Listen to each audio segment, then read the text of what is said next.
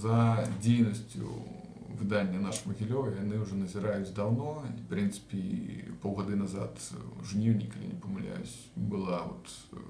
прыпынен мой аўтамабіль на дарозе мінск магілёў канфіскавана каля 12 тысяч бюлетэняў тым ліку як наш магілёў такі бюлетэняў сацыял-дэмакрат і прынцыпе праваахоўнікі і чыноўнікі яны ну актыўна сочуць за інфармацыя якая размяшчаецца на сайце яна крытычная і часам выклікае незадавальнення тым не менш я лічу што вот і в обшук мяне на кватэры і на на кватэры праваабарончага цэнтра вясна і наезд чарговы на магілёўскі праваабарончы цэнтр гэта все звенне так гэтак званага аднаго ланцугу тому что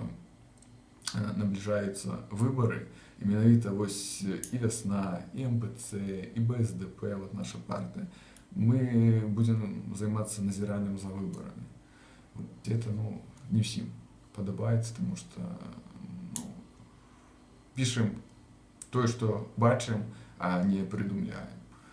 Вось таму я лічу што в нейкай ступені это спроба нейтралізаваць альбо ўцягнуць вот такія вот працэсы каб не было часу реально займацца назіраннем